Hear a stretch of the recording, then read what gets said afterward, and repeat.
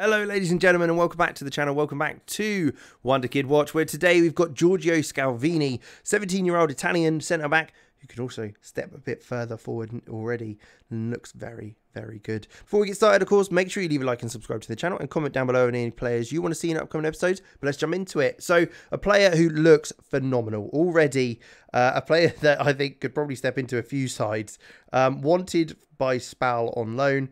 Um, but Atalanta certainly have to try and keep hold of him. Some fantastic physicals all round. Six foot four, so a bit of a giant, really. Some great determination in there at 16. Concentration of 14. Anticipation of 14. All things you want from a defender. Um, and he's also got the marking, heading, uh, and tackling stats you want as well. What attributes, I should say. Uh, let's take a look at his attributes and his current ability 113 current ability 165 potential so potential to be a bit of a world beater at defending, um, pretty much. Let's jump and see how he gets on. I, will be surprised if he doesn't do well, uh, and we'll have to see if he manages to make any Italian first team appearances. So we'll jump ahead, take a look. Here we are then, 10 years on, and he's at Spurs. Made 73 appearances for the Italian first team with three goals being scored, uh, and certainly can step into midfield with some great marking. Mentals are looking brilliant. Concentrations, determination, positioning, all very, very good, along with vision as well. Uh, and physicals, again, only thing but not in green is the acceleration and pace, which very much could be in a year. Uh, 14 and 15 acceleration and pace, respectively. So, looks a very, very good defender um, and a centre back that is definitely one of the best in the world. Looking at his career stats, though, he made a £9.25 million move from Atalanta to Spurs after making five appearances for them.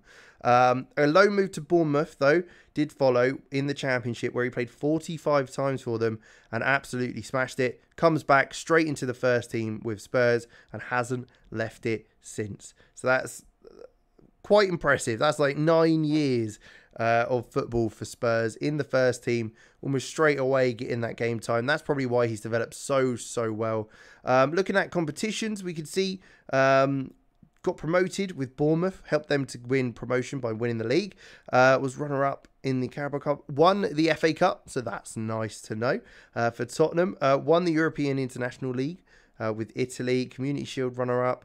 Uh, what else have we got? Runners up, runners up, World Cup runner up with Italy as well, um, and Europa League runner up with Tottenham. So did actually help Tottenham win a trophy, which was a surprise. Uh, with that, uh, oh, personal awards we've got player of the se- uh, team of the seasons, uh, and that sort of thing. Supporters player of the year. Uh, so we can see that World Cup Dream Team as well. So what a year that was for him. Team of the week's best 11s though. Otherwise, uh, as we come down was in the Europa League squad of the season as well for Spurs when they got to the final. Um, and I think they won that one. Uh, and then we can also see Champions League Sky Bet player select, seasonal best 11s, all that sort of thing. So he's clearly one of the best players in the world as centre back. And I tell you what, he's certainly a player I want to end up using at some point in this football manager. But with that, we'll leave it there. Thank you. Actually, no, we'll take a look at the attributes before we do go. Yeah, he smashed it. Got 165. No real surprise there. Look at those stats. You don't. I didn't even have to really look at it. That's why I didn't think about it. But there you go. We'll leave it there. Thank you very much for watching. Make sure you leave a like, subscribe to the channel. Of course, leave a comment down below of any players you want to see in upcoming episodes. And I'll catch you in the next one.